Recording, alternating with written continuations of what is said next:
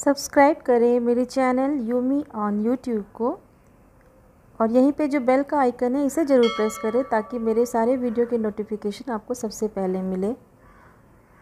और यहीं पे आप मेरे दूसरे चैनल का लोगो देख सकते हैं, दिव्या ब्लॉग्स। आप इसको भी यहीं से सब्सक्राइब कर सकते hello friends, welcome back to my channel Yumi on YouTube. मैं हूँ आपकी होस्ट और दोस्त दिव्या। तो आज हम लोग बनाएँगे ऑमलेट, लेकिन इसमें कोई अंडा यूज़ नहीं हुआ है।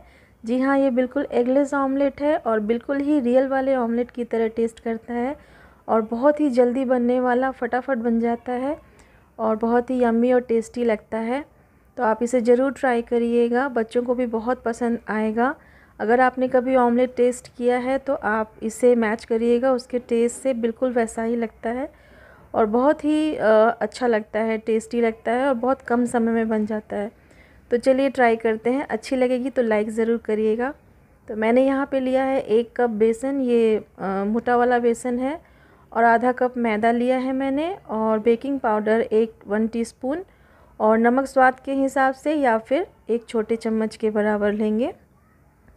और साथ में जो ऑमलेट वगैरह में जो सब्ज़ियाँ पड़ती हैं जनरली यही पड़ती हैं, टमाटर प्याज, हरी मिर्च, धनिया। अगर आप और ज़्यादा यूज़ करना चाहते हैं तो शिमला मिर्च यूज़ कर सकते हैं। तो एक बड़ा सा बोल लिया है मैंने और उसमें हम सारी चीज़ें डाल देंगे। एक के बाद एक तो मैंने बेसन डाल दिया। उसके बाद मैदा डाल दिया।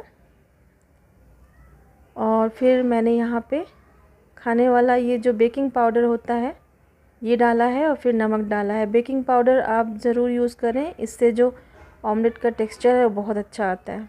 और यहाँ पे मैंने यूज़ किया है वन फोर्थ टीस्पून के बराबर काली मिर्च आप इसकी जगह या काला नमक भी यूज़ कर सकते हैं, या फिर चाट मसाला भी आप यूज़ कर सकते हैं स्वाद बढ़ाने के लिए। तो अब इसमें जो ट्रिक है वो ये है कि इसमें एकाएक ढेर सारा पानी ना डाल दें। बिल्कुल थोड़ा थोड़ा करके हम पानी डालेंगे और उसे पहले इस तरीके से पेस्ट बनाएँगे।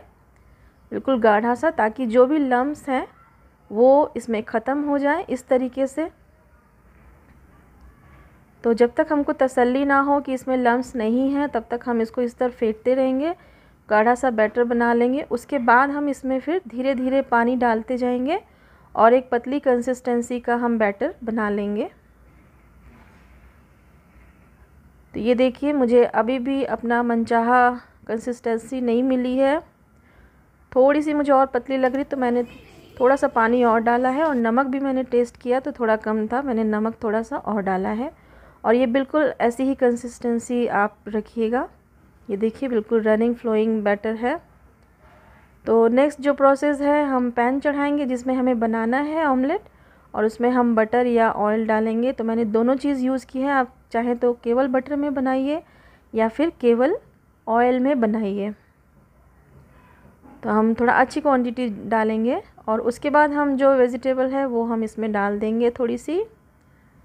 मैंने चारों पाँचों चीज़ों को मिला लिया है और उसको इस तरीके से डाल दिया है और कुछ सेकेंड बस ऐसे ही फ्राई करने के बाद जो बैटर है हम उसको डाल देंगे इस तरीके से। और अब हमें बिल्कुल इत्मीनान से इसको पकने देना है। कोई हड़बड़ी नहीं करनी है और चारों तरफ़ से हम बीच बीच में इसमें तेल इस तरीके से ऑयल हम चारों तरफ़ से फैला देंगे और बिल्कुल धीमी आँच पे इसे हम पकने देंगे। तो एक तो वो तरीका है दूसरा ये है कि हम बैटर में आ, के ऊपर से हम स्प्रिंकल करें इन सब्जियों को या बैटर में मिला के। तो आप कोई भी तरीका अपना सकते हैं। इस तरीके से ज़्यादा अच्छा लगेगा ऊपर से टमाटर प्याज और धनिया पत्ती ये सब दिखा करेंगी तो अच्छी लगेंगी। और ये बिल्कुल आप इसको इतमान से छोड़ दें बिल्कुल जब तक कि ये पफ़ी ना हो जाए अच्छे से इसमें एक टेक्सचर ना आ जाए ऑमलेट वाला। आप ध्यान रखें, आपको पूरे प्रोसेस में आँच का बहुत ख्याल रखना है। फ्लेम का धीमा ही रखें उसे। और धीरे धीरे धीरे ये बिल्कुल पकेगा तो एक अच्छा सा टेक्सचर आएगा। और देखिए, इसने बिल्कुल पैन को छोड़ दिया है।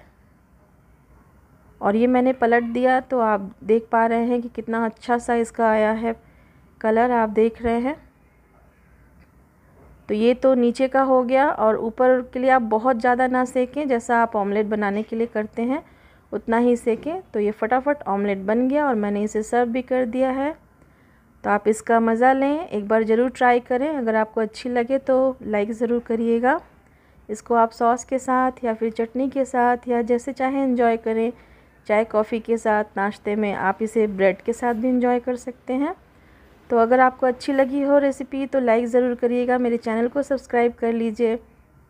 आप चाहें तो मुझे इंस्टा पे भी फॉलो कर सकते हैं, जिसका लिंक यहाँ पे फ्लैश हो रहा है। तो मैं मिलती हूँ आपसे अगले वीडियो में नई रेसिपी के साथ। तब तक keep watching my videos thank you so much for watching bye bye take care love you